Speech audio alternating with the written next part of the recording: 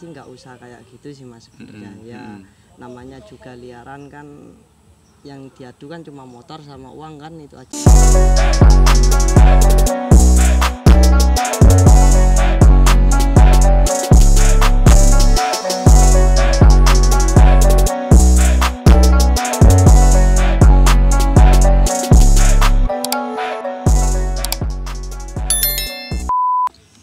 Oke, selamat siang buat teman-teman semuanya, buat sahabat-sahabat Racing Start. Kali ini Bos Geng bersama dengan Racing Start udah berada di kota Kediri. Kebetulan kita berkunjung ke MJKM Racing Kediri dan kali ini kita lagi nemenin Mas Ube yang lagi mancing karena kemarin gagal balap. Iya perasaannya Mas Ube hari ini? ya wis biasa aja lah sudah biasa kan Indonesia kan tukang prank Eh, kemarin prepare balap gimana? Udah udah udah maksimal belum? ya belum sih cuma ya sebagian ada yang udah maksimal Mm-mm. sebagian ya ada yang belum Tapi tapi Mas Ari tadi sempat cerita ngelembur sampai beberapa hari nggak tidur sampai buat prepare buat balapnya itu. ya emang kan kalau dibilang lembur ya pastilah kan waktunya juga udah mepet dan ternyata kan kena prank gitu Nah, prank itu ya. Sebetulnya gimana Mas kalau uh, kejadiannya seperti ini, misalkan balap nggak jadi tiba-tiba uh, udah prepare mateng terus balap tidak jadian diundur karena sesuatu yang urgent karena negara kita juga mungkin lagi kondisinya tidak memungkinkan. ya Terus sebagai Mas Obed selaku pembala, pe- pelaku otomotif di dalam dunia balap terutama drag bike ini bagaimana perasaannya dan mungkin ada unek-unek yang ingin disampaikan. ya sebenarnya kan kalau dibilang masalah prepare kan kita udah dikit banyak kan tetap ngeluarin uang kan dibilang rugi ya rugi lah. Mm-mm. cuma ya mau gimana lagi kalau keadaannya kayak gini kan ya udahlah gitu. Ya. Terus rencana ke depan ini gimana Mas? Untuk untuk eh, situasi yang seperti ini. Untuk di dalam dunia otomotif balap. Apakah mungkin hanya untuk fokus ke liaran ataupun juga keresmian yang mungkin belum? Pasti kan otomatis serba sulit ini untuk kondisi yang seperti ini ya seadanya aja lah mas. Seadanya seadanya aja lah. Ya, liaran tetap liaran tetap lah pasti. Ini rencana nanti ke depan ada permainan mungkin? Ya ada. Ya ada lah pasti ada. Pasti cuma ada. Ya ditunggu aja lah. Oke siap, nanti ditunggu untuk info uh, balap liarnya Mas Upe. Dan kemarin-kemarin sempat balap liar nggak? Yang terakhir-terakhir ini. kalau dibilang balap liar udah lama ya mas aku gak balap liar ya. Udah nggak bal- Udah- lama nggak udah balap lama liar? ya, udah lama Hmm. udah sekitar kalau tujuh bulan 8 bulan mungkin udah ada Enaknya apa sih Mas kalau balap liar itu kalau dari Mas Upe sendiri? Eh, sensasinya sih mas lebih ke sensasi lebih ke kan lebih ke anu loh mas kayak dredeg gitu lah Dredeg. dredegnya itu loh mas Hmm, berarti adrenalinnya gitu. ya. adrenalinnya itu loh lebih ke situ sih Mungkin terus pendapat Mas Ube sendiri tentang balap liar di Jawa Timur ini. Ini kita mengulik balik nih tentang tentang fenomena balap liar di di Jawa Timur yang mungkin antar bengkel A dan bengkel B, bengkel C yang mungkin sering terjadi apa ya eh, kemelut lah mungkin yang eh, euforianya begitu panas. Itu seperti apa Mas Ube menanggapi hal-hal fenomena seperti ini? Kan antara bengkel A dan B saling saling serang. Sebenarnya sih sebenarnya sih nggak usah kayak gitu sih mas sebenarnya. Mm-mm, ya mm-mm. namanya juga liaran kan yang diadu kan cuma motor sama uang kan itu aja betul betul. Terus kalau masalah konflik konflik kayak bengkel A sama bengkel B gitu sebenarnya sih nggak usah terlalu dibuat masalah terlalu besar gitu mas. Sebenarnya kan kalau masalah bengkel-bengkelnya aja kan ya bi- biasa, biasa aja. aja lah itu sebenarnya kan cuma masa-masanya gitu aja loh mas. Ya kadang-kadang orang-orang di luar yang tidak mengerti satu Nah, permasalahan ikut-ikutan dibumbui Kalau- tambah kompornya. kalau bahasa sekarangnya sih netizen, netizen betul betul betul. Sebenarnya kan cuma gitu. Cuma masalah kalau bengkel-bengkelnya sih nggak masalah sebenarnya aman-aman saja Aman-aman ya saja. kita semua juga sudah pasti sudah memahami jadi buat teman-teman semuanya nih ya buat yang di luaran sana yang mungkin tidak terjun langsung di dalam balap liar ketika ada isu-isu tentang suatu bengkel ataupun juga pembalap mungkin bisa diklarifikasi lagi lebih dicari tahu dulu jangan langsung komen jangan langsung ngomong yang mungkin belum tentu tentang kebenarannya ya gitu loh Mm-mm. maksudnya penak nguncal nih pancing ini nah mencalem pancing jari mas Loh, malah mau ki piye malah dredeg ini kaulih ga Oke. Nila no lo Mas Ari. Iya mas. Nila. Endi? Neng kene Nila. Ae kakak. Oleh ya, siji. Kalau Mas Ube sendiri tuh paling suka naik motor apa, Mas? Kalau aku sih lebih ke condong ke empat-taknya sih mas. Ke Kalau empat tak. empat-taknya perlu belajar lagi.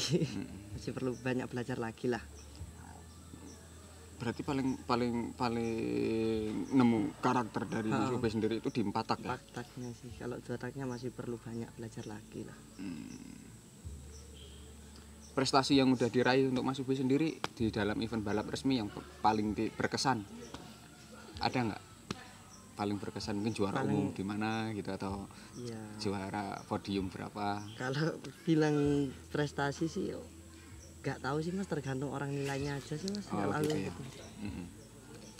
Jadi tinggal tinggal orang yang menilai Iya, Mas yang sendiri. Karakter Mas Masalah seperti prestasi apa, masalah prestasi dan sebagainya. Soalnya kan kita nggak perlu sih ngasih tahu seberapa baik kita, seberapa besar prestasi kita biar orang yang menilai. orang aja. menilai betul Mas Ube gimana ini kegiatannya di saat pandemi ini kan suasana lagi sulit seperti ini ya untuk kegiatan Mas Ube sendiri mungkin itu bisa diceritakan apa sih kesibukannya gitu loh seorang UB pembalap kalau lagi nggak ada balapan itu ngapain aja Ya usaha aja lah mas, seadanya gitu aja. lah. oh Usaha seadanya gitu. usaha aja. saya kira usaha nih sekarang usaha apa Mas Ya seadanya aja mas, se- seanunya aja. Yang bisa dibuat usaha ya selagi ada jalan ya dijalani aja dulu gitu. tetap dijalani ya. Jalani aja. Ini kelihatannya jualan online juga mas. oh iya jualan online juga ya Iya gitu.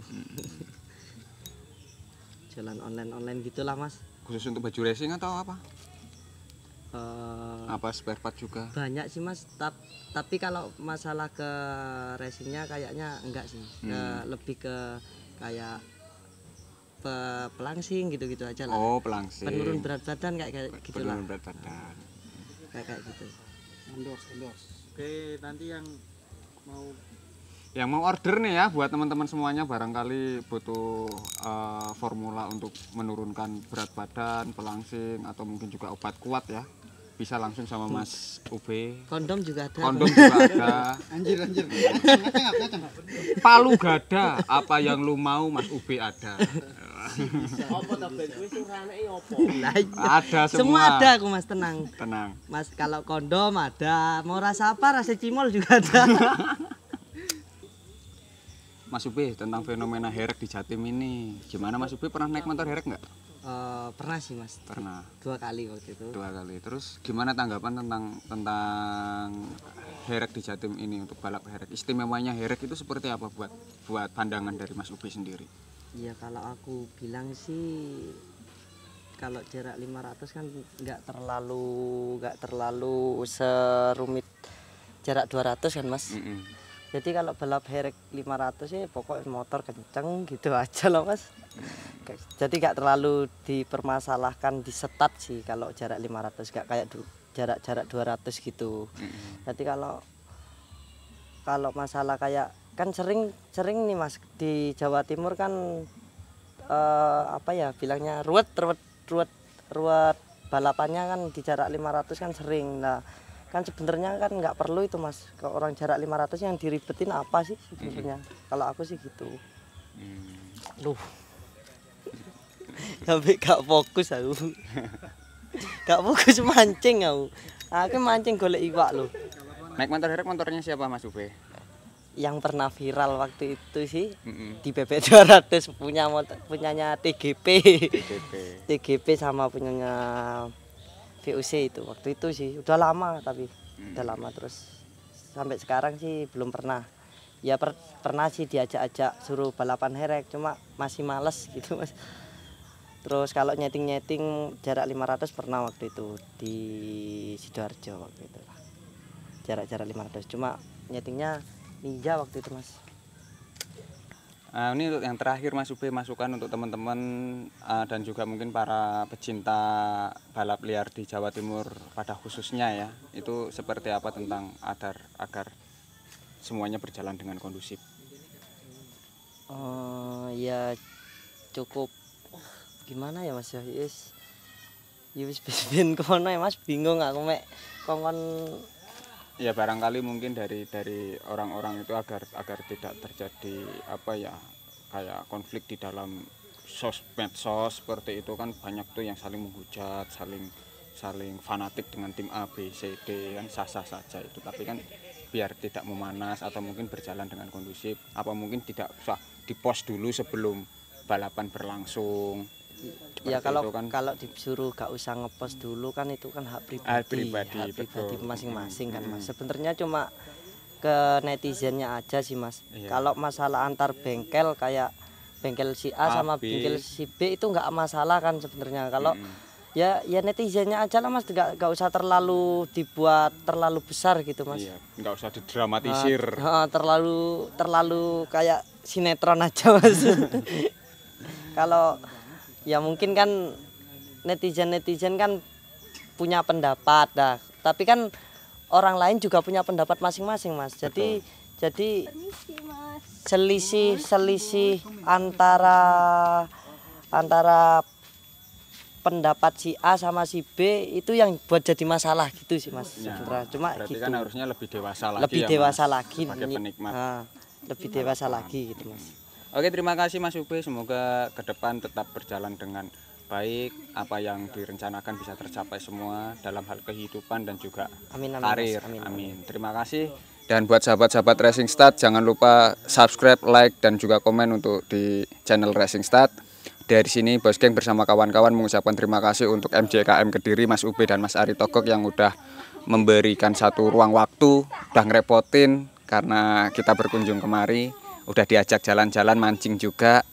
Dan sekian, semoga sukses ke depannya untuk MJKM dan juga Mas Ube. Assalamualaikum warahmatullahi wabarakatuh. Bye bye.